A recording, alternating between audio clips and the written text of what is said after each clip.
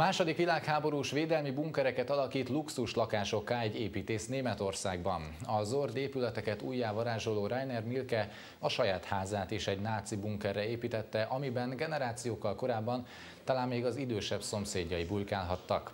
A munkájában úttörőnek számító építész tervei egyre népszerűbbek az országban, ugyanis mostanában rengetegen akarnak beköltözni azokba a bunkerekbe, amiket egykor légvédelmi menedékként használtak.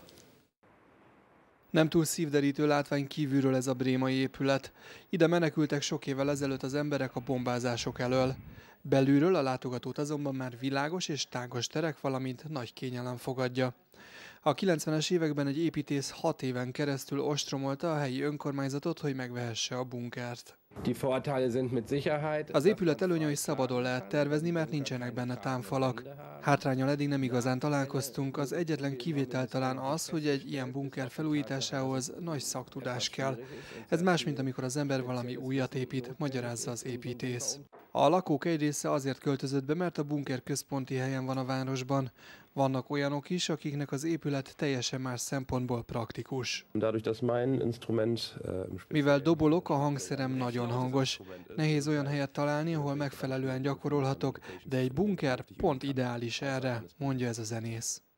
2007-ben a német önkormányzatok úgy döntöttek, felesleges megtartaniuk a mintegy 2000 bunkert. A hagyományos légitámadások veszélye elmúlt, az esetleges terrortámadások és természeti katasztrófák ellen pedig nem nyújtanak védelmet ezek az óvóhelyek. Központi elhelyezkedésük miatt nem lehetett felrobbantani őket, ezért árulni kezdték az épületeket. A hatóságok eddig 50 bunkertől szabadultak meg, amelyek egyre keresettebbek lettek átalakításuk után.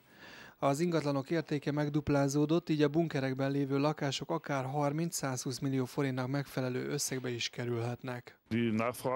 A piacon igen nagy a kereslet a bunkerekre. Újságokban és interneten hirdetjük őket, és végül az lesz a tulajdonos, aki a legtöbbet ajánlja értük, mondja a Szövetségi Ingatlan Ügynökség kereskedelmi igazgatója. Az új lakókat azonban sokan megszólják, amiért kényszermunkával felhúzott épületekbe költöznek. Az ország legnagyobb brémai bunkerének felépítésénél például 1400 kényszermunkás vesztette életét a nácik kegyetlensége miatt. Ugyan a 426 méter széles és 33 méter magas bunker jelenleg nem eladó, egy részét kiadják, hogy fedezni tudják az évente közel 100 millió forintnak megfelelő karbantartási költségeit. A Brémai Politikai Tanulmányi Központ emlékkiállítás szervezett az épülethez. Mindenkinek tisztában kell lennie azzal, hogy hol él. Persze végül az embernek magának kell eldöntenie, hogy boldogan tud-e egy olyan épületben lakni, amit kényszer munkával építettek fel, mondja ez a történész.